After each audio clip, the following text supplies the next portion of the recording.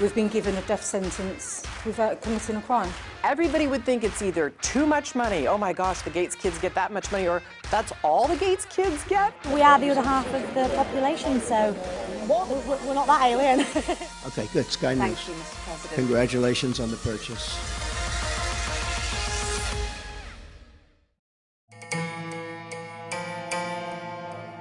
Inquiry has begun into a blood scandal described as the worst treatment disaster in the history of the NHS. Nearly 3,000 people died after receiving products infected with hepatitis and HIV in the 70s and 80s. Tony was a child when he lost his dad and both his uncles to HIV, contracted during treatment for haemophilia.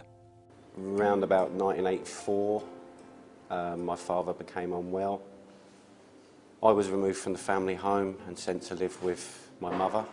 Uh, that relationship didn't work out. Um, I didn't really know her. Um, my mother rung my father back up to basically say I had to go home, which is at the point where he told her what was wrong. Um, I was still unaware of that. I was 12 years old.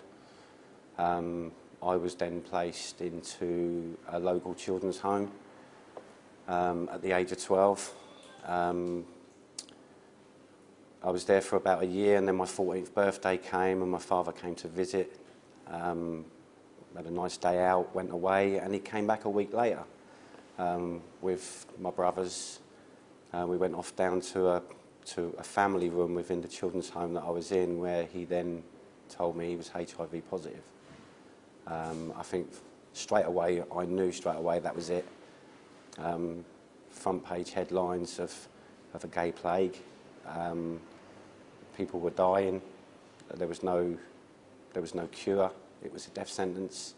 Uh, the last time I saw my father was in April 1986, and I never saw him again after that. He died on the 22nd of September, uh, which was this weekend. Uh, so he's been dead now for 32 years, and shortly, within a matter of weeks of his death, um, my father's brother was diagnosed with HIV. Um, he died in 2002. My father's eldest brother, or older brother, was also diagnosed with hepatitis C in 1990 on Christmas Eve. Because of the, the haemophilia being hereditary, and, and, and you'll find this across the board with lots of other families, that, that it wasn't just one person.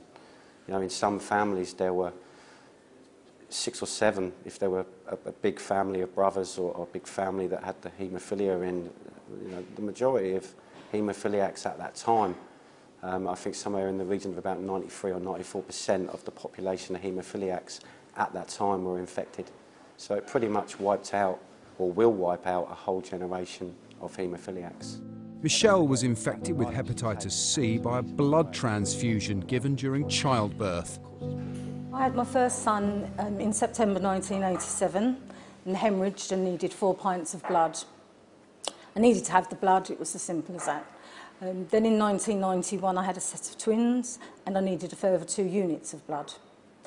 In the mid-90s there was some form of advertising on the TV um, saying that the bloods hadn't been screened before a certain date and several pointer factors, so if you'd had some tattoos, dentistry, blood transfusions, etc., it'd be worth popping along to your GP just to get, get checked out.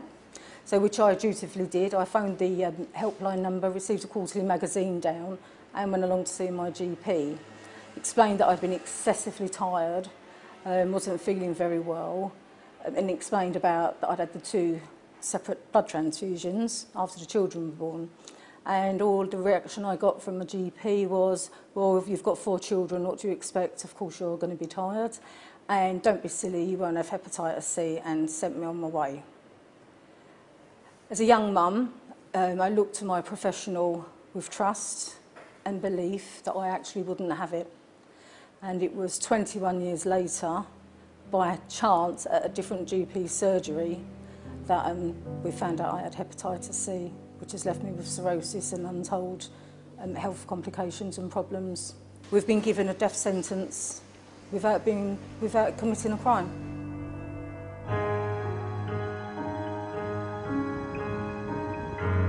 There's concern for a rare whale that's been spotted in the River Thames in Kent. The RSPCA says the beluga is swimming strongly and feeding, but the species is usually found in cooler waters.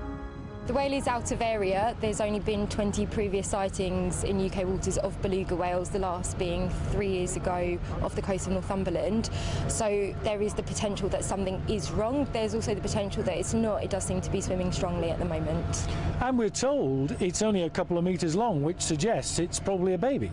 They can, males can grow up to five and a half metres, females a little bit smaller. Because it is out of area and we obviously don't have much experience with it, it's really hard to give an estimate on what age it might be at this stage. And as far as we know, it's fine, it's been feeding, it's in the Thames where it shouldn't be. When do we start getting worried that it's getting itself into real trouble? There's a few indicators that might suggest something's wrong um, body condition, behaviour. Obviously, if it looks like it's coming in too close to shore with the risk of stranding, or if it does strand, then obviously we're going to be concerned, which is why we're monitoring it very closely at this stage. And why is a beluga whale that should be in the Arctic halfway up the Thames? It's really hard to speculate. There's many reasons why any animal comes into an area where it shouldn't be. It could be that it's simply young and lost. It's, it might be that something's going on um, medically with it or with another animal that it came in with. If there is one, we haven't seen or heard of any other sightings of any other individuals. It could be um, something's interfered with its coordination, um, sound underwater or above land. Um, lots of things can affect it, which is why we urge the public and anyone on a boat or in the air on a helicopter or plane to not get too close because again that in itself can affect its behaviour and could start to push it in the wrong direction. Hello, good afternoon to you. Jeremy Corbyn. Jeremy Corbyn. Jeremy Corbyn. Jeremy Corbyn. Jeremy Corbyn.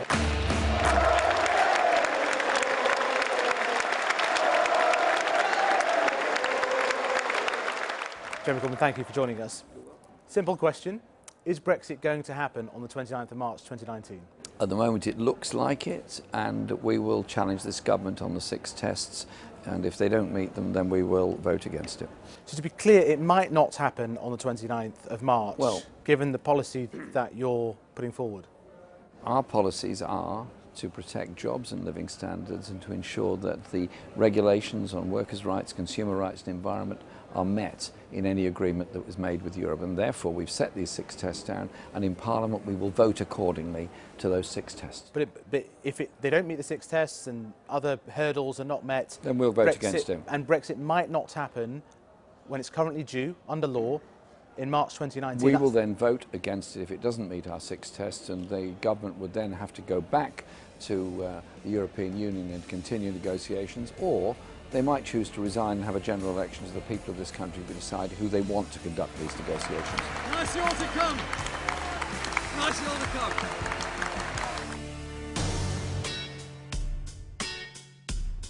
Theresa May joined world leaders in New York this week for the 73rd UN General Assembly. When I spoke to her, I asked her about Brexit, about the possibility of an early general election, and whether she backs Sky News' campaign to have an independent commission to get debates ahead of the next general election. Prime Minister, if, as you are saying, you believe that you can get a deal, and you believe that when they look the deal in the face, in the moment, that MPs will come round to believing it is the right option for the United Kingdom. If they don't do that, however, are there any circumstances where you believe it would be in the national interest to call another general election? I, what I'm working for is a good deal. I'm working to bring that good deal back from Europe, and I believe at that point. Could you just rule it out before at- March next year? that- look, as I've said, what I'm working for is a good deal. We're putting the effort in. We're uh, uh, uh, set out the issues in which we believe the European Union uh, should respond uh, very clearly. If they've got concerns with the proposal we've put forward, let's hear those concerns. It is not in the national interest to have a general election. We're working in the national interest for the right relationship with Europe in the future. Sky News is running a campaign to make debates happen. All the other party leaders have signed up uh, to the creation, the idea of a creation of an independent commission to organise and run televised debates ahead of a general election. Will you support that proposal? The next general election is in uh, 2022. There's plenty of time to think about those issues at that It's time. not a what, hard we're question, focused, is it? what we're focused on now is actually ensuring that we're working to get that good deal from the European Union. Melinda Gates is one of the world's most formidable philanthropists, along with her husband, Bill Gates, who set up Microsoft. She's trying to end extreme poverty around the world. I caught up with her here in New York City and asked her how she's trying to do that. We are in partnership with many, many governments around the world, the UK government included, France, Germany, Norway, many African governments, the Indian government, to try and work on some of the very specific goals. That is, we work on bringing down maternal mortality, we bring down childhood mortality.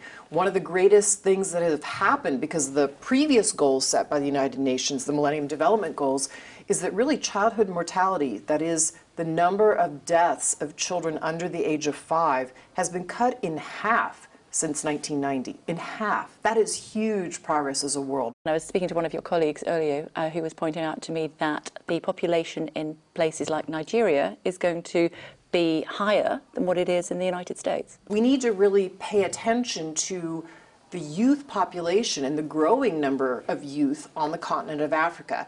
And it hangs in the balance. If we help them lift themselves up, there's unbelievable potential there for them to change their countries and their continent. But however, if we don't make the investments the world has made in the past around vaccines or malarial bed nets or other tools, then they're going to stay in poverty and we're going to have more people in poverty than we've had in the past. And so we want to make sure that the world goes towards the youth potential. Can we talk briefly about your children? Sure. Um, do they do they want to follow in your footsteps? So the thing that Bill and I have encouraged all three of our children to do, we have two daughters and a son, Right, indeed. is to follow their own dreams and their own potential. So they're still figuring out what they want to do. Uh, we have a daughter who's out of college, a son who just entered college, and another daughter who's in secondary school. So uh, we'll see what they want to do. What sort of support do you? I mean, I, I can't remember. Was it was it Mr. Buffett who said that he wasn't, or was it uh, Zuckerberg who said that he wasn't going to leave any of his money to his children? He was going to. They had to um, continue on their own path and make their own way.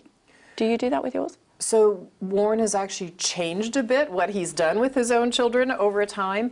And so I think those discussions about money are actually very private inside of a family and should be kept that way. But I will say this, Bill and I have made statements that the vast majority of the resources that have come from Microsoft will go back to society. And I think all the other discussions about money, one of the things the kids and I talked about when they were young is uh, they did get an allowance. They had chores, they had allowance. And our agreement was between them and me they were never allowed to tell anybody else what their allowance was, and neither was I. Because everybody would think it's either too much money, oh my gosh, the Gates kids get that much money, or that's all the Gates kids get. So I think money discussions amongst a family should remain private inside a family. What sort of chores did they have to do? Oh my gosh, they do dishes and take the garbage out. I mean, the things that other kids do.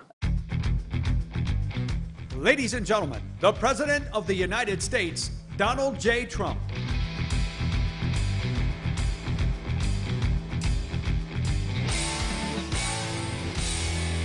Thank you very much, everybody. Yes, ma'am, go ahead. Go ahead, please. Thank you, This Mr. is the one that was nodding with every nice thing I said, so watch this question. It's a habit of mine. Hannah Thomas Peter from Sky News. You're with News. who? Hannah Thomas Peter from Sky News. Okay, good, Sky News. Thank you, Mr. President. Congratulations on the purchase. Nothing to do with me. I hope you benefited. Go ahead.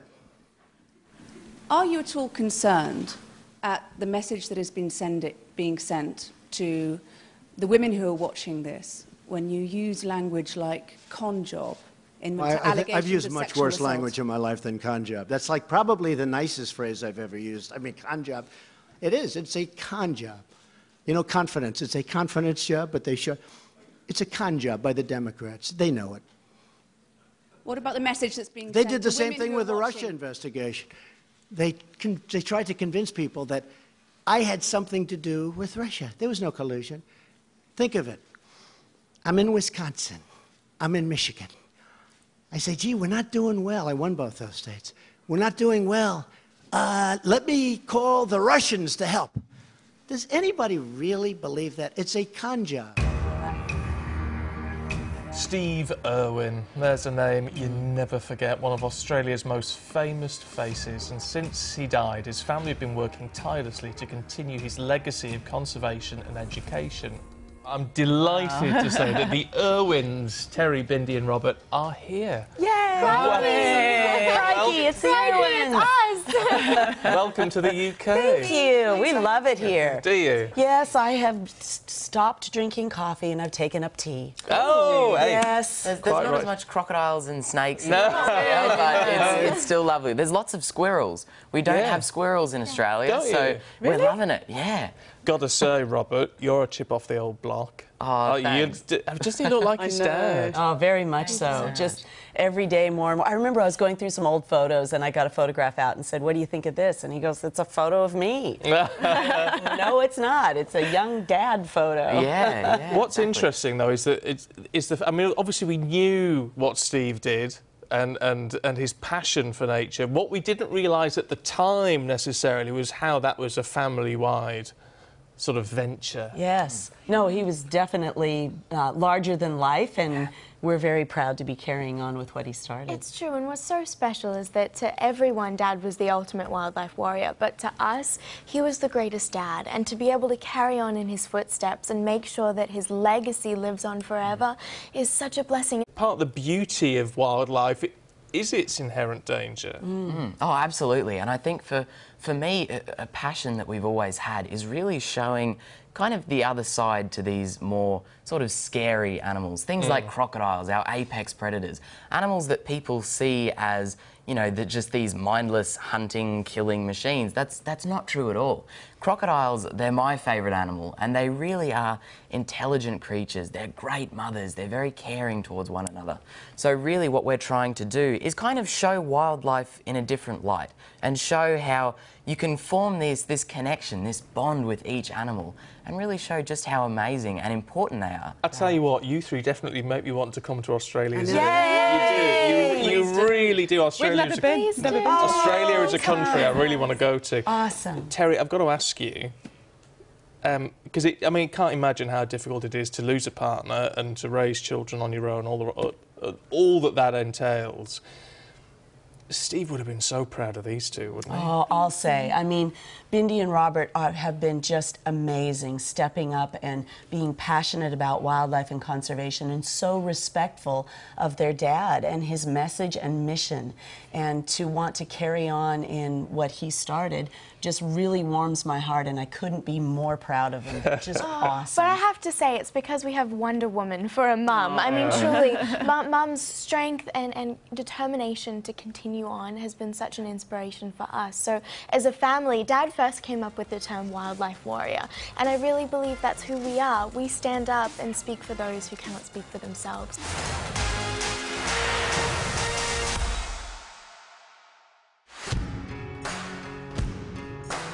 Richard Glossip is on death row in Oklahoma. He's had three execution dates. All have been postponed, the last because the prison had been given the wrong drug to kill him. This week he got married to a woman 33 years his junior who's training to be an undertaker. I spoke to Leah Jurassic about what attracted her to a man who is still facing execution. What on earth is a 21 year old doing falling in love with somebody on death row? Well, when we first started talking, the age thing, it never, like, never even crossed my mind, never came up. Even the fact that he's where he's at, it was never, like, something that was constantly on my mind. I think when you, like, meet someone that you connect with on every level, and, like, you really genuinely enjoy them, something as trivial as age doesn't really, it doesn't come in, it doesn't come into the factor at all. When you love someone, you love someone, and trivial stuff like that doesn't, doesn't really bother you. And the fact that he's on death row? No, it doesn't bother me in the sense of um, the fact of itself. It just it bothers me because you know he's innocent. He should not be there, and I wish he wasn't. But it's never been well. It's never been really a deterrence in our relationship because we've made it work, and I think the fact that we've made it work is pretty good because it's. I don't think that a lot of people would be able to because there is so many limitations. You can find out more about Richard Glossip's case on my Sky News podcast, Another Dead Man Walking.